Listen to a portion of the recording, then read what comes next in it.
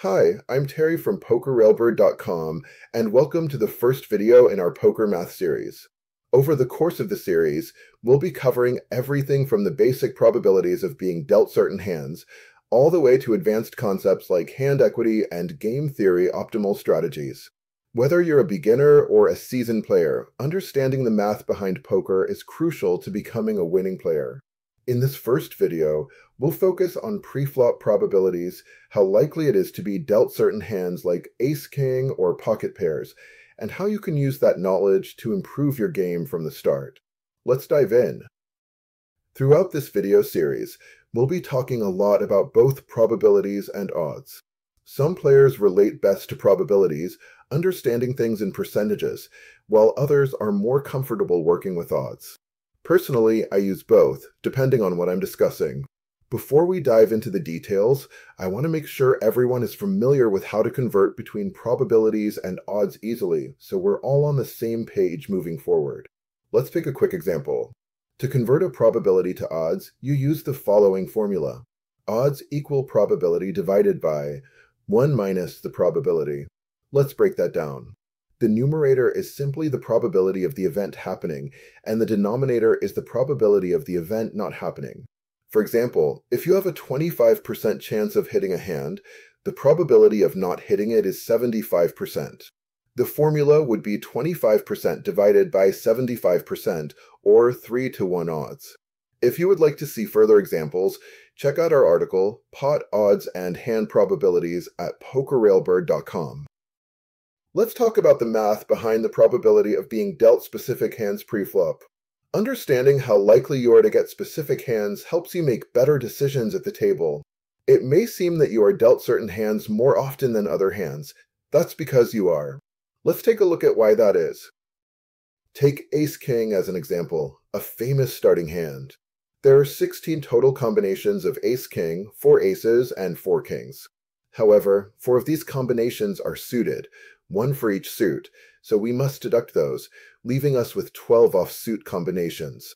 The probability of being dealt ace-king suited is 0.3%, or about once every 331 hands.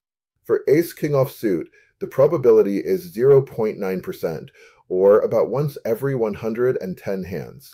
When you combine the two, the probability of being dealt any ace-king, suited or off-suit, is 1.2%, or about once every 83 hands. Pocket pairs work a bit differently. You have six possible combinations of cards of the same rank to make a pocket pair. The probability of being dealt any random pocket pair is 6% or once every 16 hands.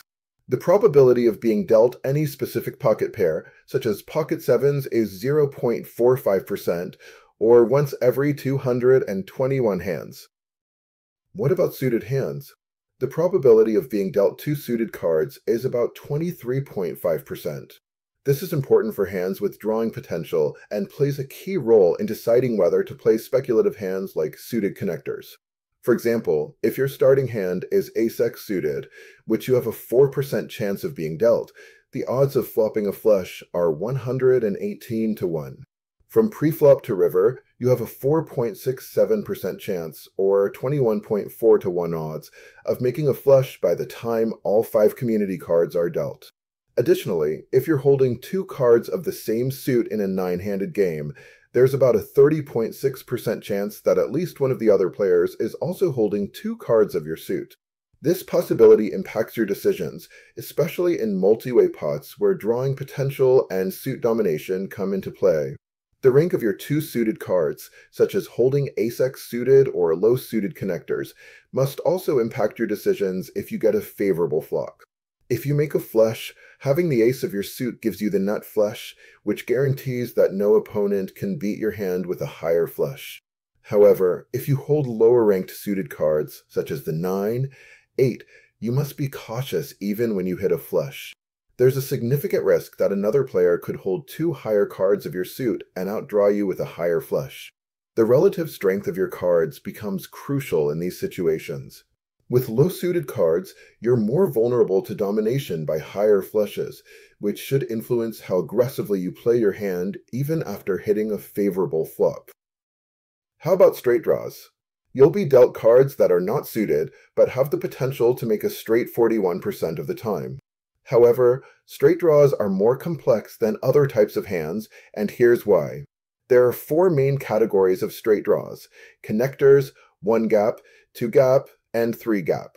Within each of these categories, there are three subcategories based on the position of the cards at the end, near the end, and in the middle. Let's break it down using connectors as an example. Take a hand like Ace King. These cards are connected, but they're at the end of the straight spectrum. This means you can only make a straight in one direction, requiring a board of Queen Jack 10. With Ace King, the odds of making a straight are about 3%, or 32.33 to 1 odds. Next, we have hands that are near the end, such as King Queen. These cards can make a straight in two directions, Ace Jack 10 or Jack 10 9. The odds of making a straight with King Queen are about 5%, or 19 to 1 odds. Finally, the best straight draws come from middle connectors like Jack 10. These hands offer four possible ways to complete a straight, compared to the two ways for near the end hands and just one way for end of the spectrum hands. Middle connectors like Jack 10 have about a 9% chance of making a straight, or 10.11 to 1 odds, from pre-flop to river. It's important to note that hands like Ace King or King Queen are often played more for their high card value and kicker strength than for their straight draw potential. Let's take a look at one gap straight draws, like Ace Queen or Queen 10. Just like with connectors, middle one gap hands offer better potential than those at or near the end of the straight spectrum.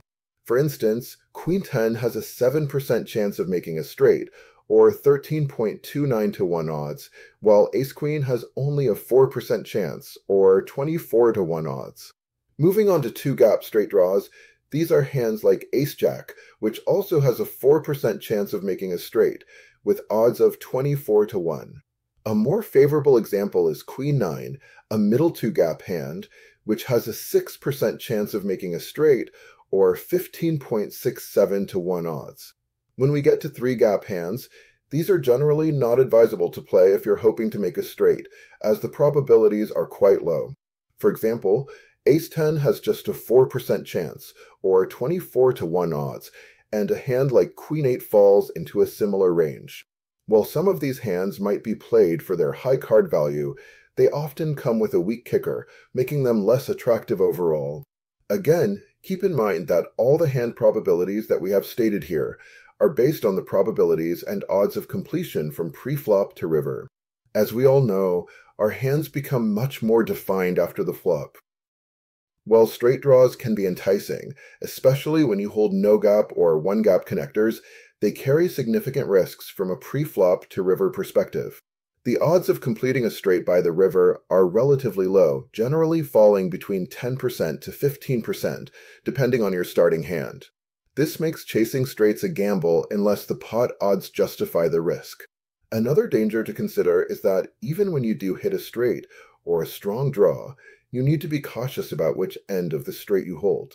If you hit the lower end of the straight, such as holding 7-6 on a 9-8-5 board, the very same cards that completed your straight could easily give another player a higher ranking open-ended straight draw who may be holding hands such as Jack 10. This potential for being outrun means you should tread carefully, especially in multi-way pots, and pay close attention to the board cards.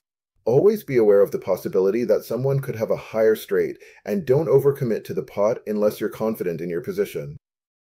That's a quick overview of the probabilities for getting certain hands pre-flop. Understanding these numbers can help you make more informed decisions before the flop, laying the foundation for a stronger overall strategy. In the next video, we'll dive into pot odds and how to calculate the profitability of your calls, so be sure not to miss it. Thanks for watching. If you enjoyed the content, please like and subscribe for more poker strategy insights.